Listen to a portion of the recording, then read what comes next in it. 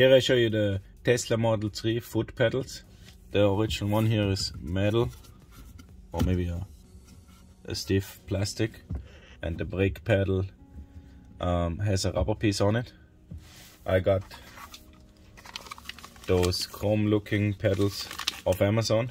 They're still original packed and let me mount them. Sometimes the rubber here might be a little bit stiff to remove so it it helps to use a heat gun to warm it up. If you don't have one, you can use a hair dryer or you can, you don't necessarily need one, it's just a little bit harder to pull.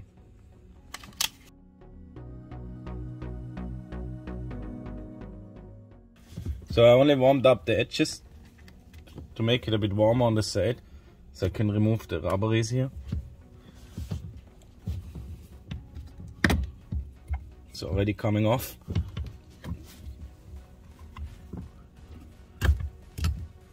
That's how the pedal looks without any rubber cover. Then I use those aftermarket pedal covers. Let me open them. When you look here on the rear, it has this rubber you can pull out and pull over the pedal. I will warm that up as well a bit so the rubber stretches more.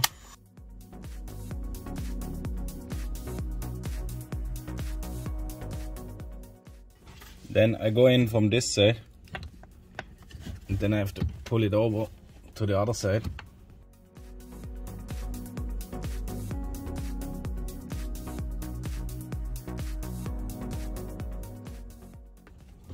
Okay, when you think you're done, make sure you go with the finger all the way around to confirm the rubber lip is all the way around the pedal, which looks good now.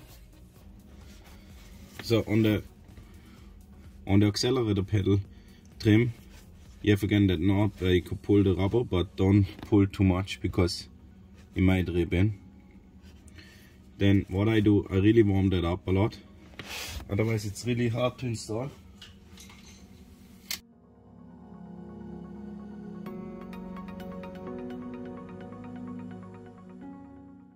Again you don't need necessarily the heat gun. It just makes it much easier instructions say put the pedal from top to the bottom.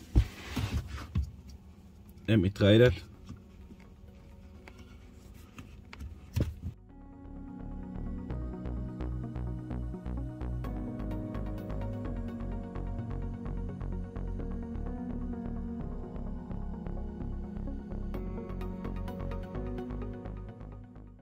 I am getting a little trim tool to get under the rubber a little bit.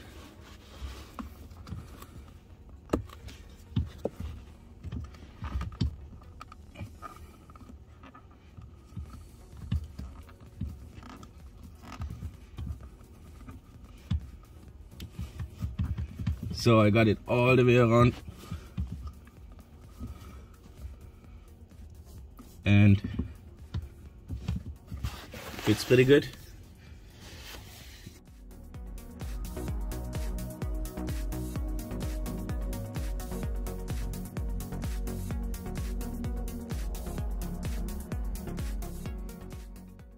I will provide a link in the video description about those pedals.